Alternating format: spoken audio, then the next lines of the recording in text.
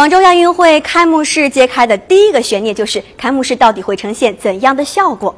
由于开幕式的场地位于珠江上的海心沙岛，它是一个完全开放的空间。现在的海心沙岛发生了怎样的变化呢？我们一起去看一看。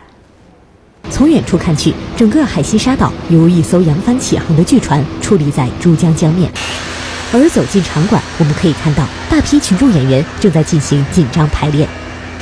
据开幕式庆典工作人员介绍，这些演员从九月二十号起就集体在岛上开始进行彩排，部分重点节目甚至从八月底开始就已经进驻岛上演练了。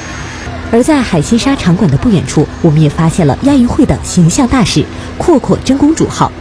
这艘船去年已经走访了亚洲近三十个国家和地区，眼下它正安静地停靠在海心沙岛的岸边。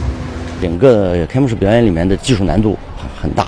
很高，甚至有一些表演段落的表演技术难度，呃，应该说是，呃，超过了奥运会的这样的难度。